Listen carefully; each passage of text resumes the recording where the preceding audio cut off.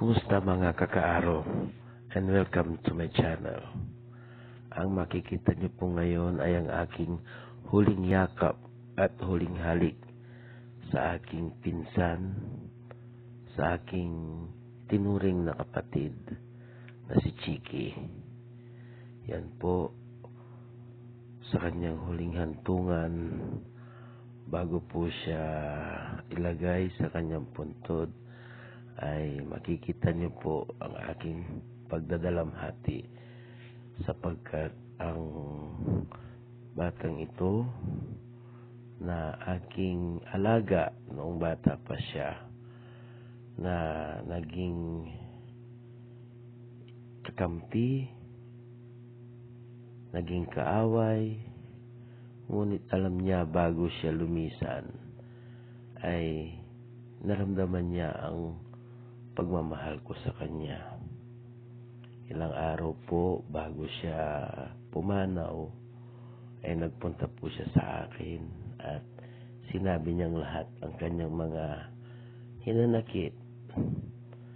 Mahal kong kapatid, baunin mo ang aking pagmamahal sa iyong paglalakbay at naway makamtan mo ang ipinangakong paraiso ng ating Panginoon. Naway pagkaloob sa iyo ang buhay na walang hanggan.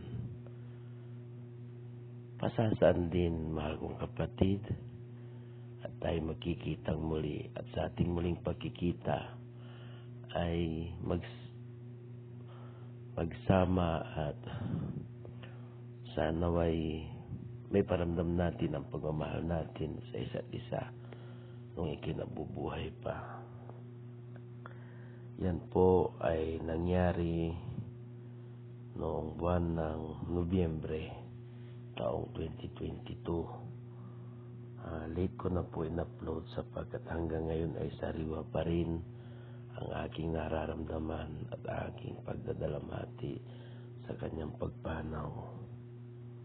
Sa mga kakaaro, uh, mahalin po natin ang ating mga mahal sa buhay, mapakapatid, pinsan, lalong-lalo na sa ating mga magulang. So hanggang sa muli mga kakaaro, please subscribe and share my YouTube channel, Kakaaro Channel. And uh, I'm very thankful na na-express ko ang aking nararamdaman sa video ito. And yan po mga kakaaro, makikita niyo po habang ilalagay ang kanyang mga labi sa kanyang huling hantungan.